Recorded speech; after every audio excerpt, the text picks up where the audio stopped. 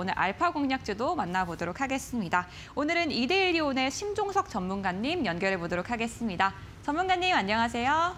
네, 안녕하십니까. 네, 오늘 저희는 어떤 종목을 같이 살펴볼까요? 네, 오늘의 알파 공략기로는 하이비전 시스템을 말씀드리도록 하겠습니다. 하이비전 시스템은 휴대폰에 탑재되는 카메라 모듈 사업을 주 사업원으로 하고 있고요. 최근 아이폰 14가 출시되면서 판매 호조의 소식으로 인해 테마가 형성되어 어제는 5% 이상의 상승을 좀 보였습니다. 어, 주요 매출원으로, 뭐 매출원으로는 LG 이노텍과 삼성전자가 있고요. 여기서 우리가 주목해야 할 부분이 있습니다. 어, 바로 LG 이노텍은 애플과 연관이 되어 있는데 삼성전자라는 부분인데요.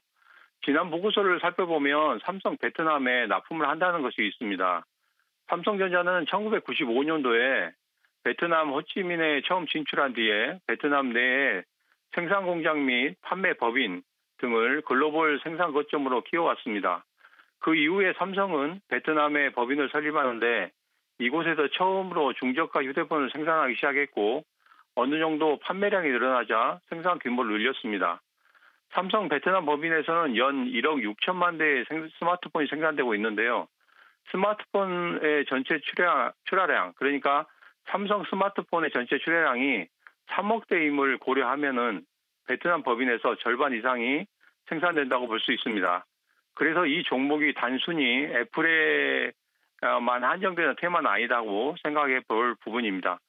어, 이 종목의 공략 방법을 말씀드리겠습니다. 최근 그 거래량이 수반되면서 224일선을 강하게 뚫어주는 모습을 보였습니다. 어, 그리고 매도선을 상향 돌파하면서 상승하고 있는 모습이어서 당분간은 시세를 줄 수 있는 구간이라고 생각합니다.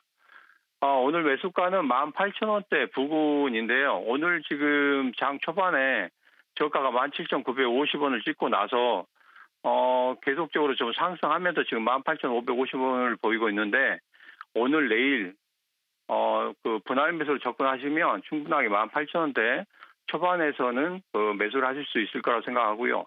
손절가는 224일선인 17,800원, 1차 목표가는 어, 2만 1,000원을 제시해 드리도록 하겠습니다.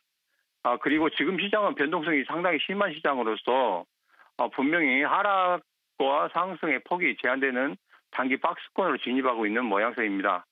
예, 지금은 무리한 매매보다는 원칙을 지키면서 이 종목도 제시해드린 가격대에서 무리한 매매보다는 안정적인 매매를 할 수 있도록 그렇게 하시기 바랍니다.